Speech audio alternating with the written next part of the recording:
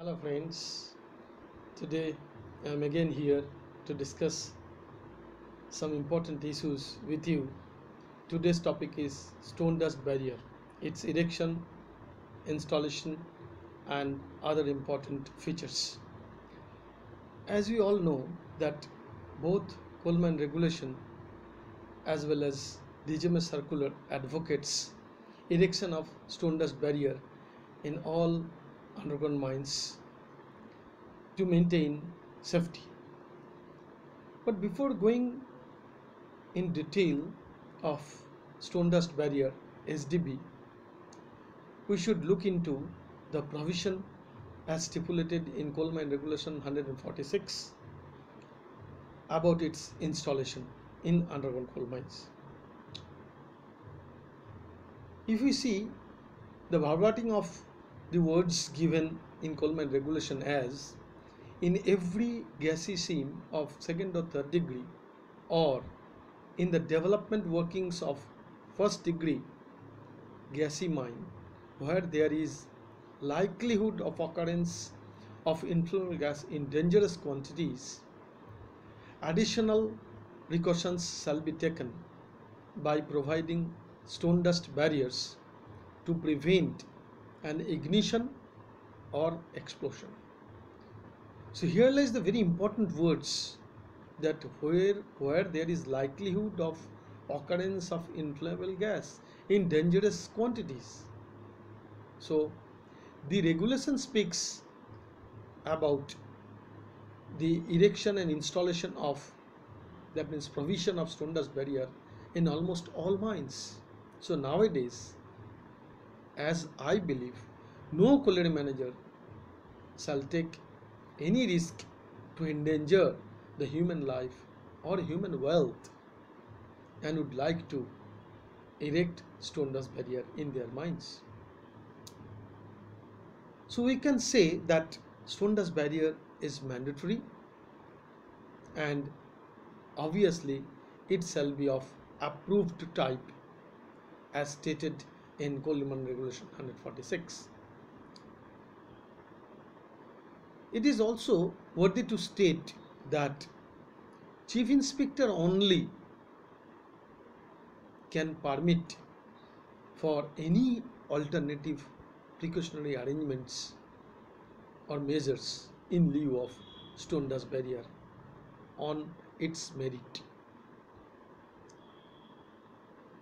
It is well known that stone dust barrier broadly is of two types light type of barriers and heavy type of barriers. Though there is intermediate type also but here we will be discussing mainly on light type of barriers and heavy type of barriers. First about the dust loading for light types. Cells of light type of barriers shall be loaded with not more than 30 kg per meter shelf length and the total quantity of stone dust in the barrier shall not be less than 110 kg per meter square of the roadway. And the shelves of heavy type of barriers shall be loaded with not more than 60 kg per meter of shelf length and the total quantity of stone dust in the barrier shall be not less than 390 kg per meter square of the roadway. But the important terminology here, the meter square cross section. What do you mean by that?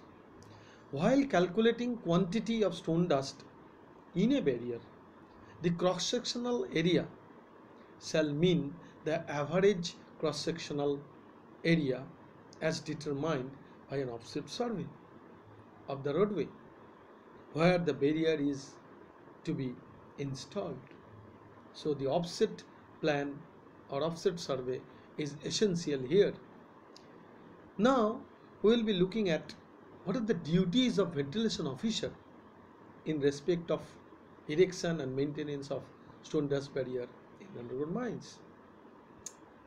Very briefly I would like to highlight over here that he shall examine the stone dust barrier once at least in each week.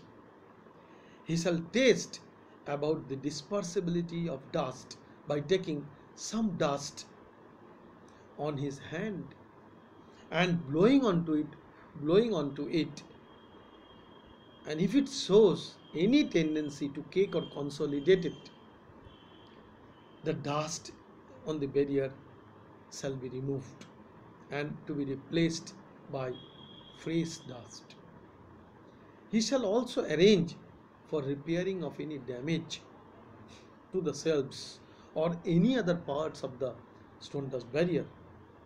If the defect cannot be rectified, then shot firing shall be stopped forthwith. This is very important parameter, very important condition.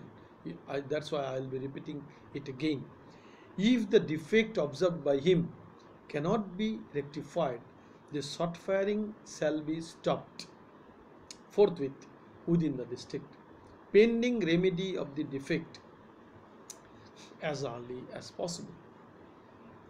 He shall also supervise the erection of the new barriers.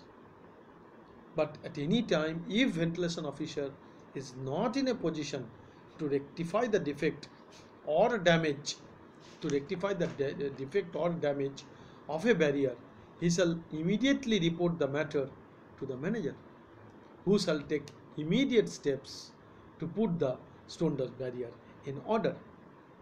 Ventilation officer shall also see that barriers are shifted at necessary intervals to ensure that they are maintained constantly within the recommended range of distance from the face which has been given in DGMS Circular 6 by 1975. Viewer shall also write a detailed report on his inspection and action taken if any. The report shall be countersigned by the colliery manager. He shall also record data on the position of the cells, number of cells, quantity of stone dust, cross-sectional area of the road where the stone dust barrier is to be uh, installed, renewal of stone dust, if any, date of his inspection, any other relevant particulars. This is also known as the check board as per the circular 6 by 1997 which will help monitoring of the stone dust barrier. A checkboard is provided near each barrier containing all this information which is very essential in respect of each stone dust barrier. Like every other safety measures, stone dust barrier also has got very important points. Not only that, we can call it some riders which are to be adhered to very seriously, which are as follows. Shelves shall be so arranged that collapse, their collapse in the event of explosion is not impeded. Number two, barriers shall be sited as low as possible, as low as convenient within the upper third of the roadway. This is very vital point. Number three, stone dust on the shelves shall be not less than 10 centimeter from the roof and side of the roadway so that it can topple down while there is any explosion. No boards or shelves shall be fastened either to each other or with some fixed brackets. It will facilitate toppling down by the uh, your toppling down easily so that the dust explosion can be smothered out aptly or effectively. Next is distance between two shelves for the light barrier should be maintained within 0.9 meter to 2 meter and the distance between two shelves for the heavy barrier within 1.25 meter to 2.7 meter. So these are the things which are to be maintained very effectively, very cautiously in almost all mines of underground sector so that in case of any explosion your more precisely the coal dust explosion it can be tackled very rightly so that there would not be any danger from this explosion and stone dust barrier would be able to take care of it. So we should not forget to observe the all the provisions all the guidelines as enumerated both in coal mine regulation 146 and DGMS circular 6 by 1975 and 6 by 1997 very effectively so that the health both the mines as well as the miners would be maintained very rightly.